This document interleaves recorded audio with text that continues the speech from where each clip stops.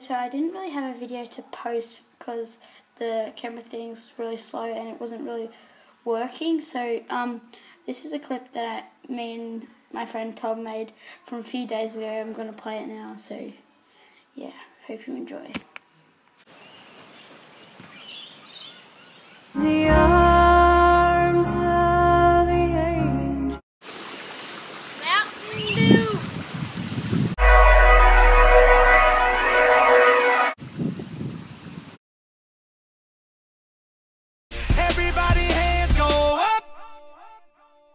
And they stay there.